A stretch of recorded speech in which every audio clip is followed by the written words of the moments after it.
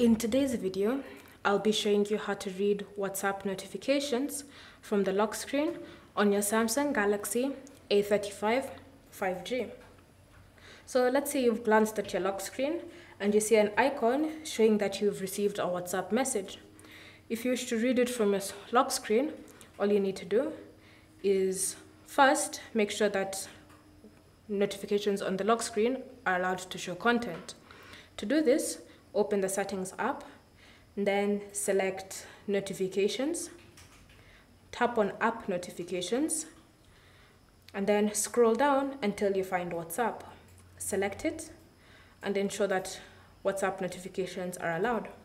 From there, you need to make sure under notification types that lock screen notifications is set to allow and that they're allowed to show content.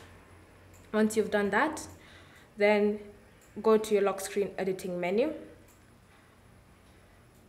And in the editing menu, tap on the icons here underneath widgets.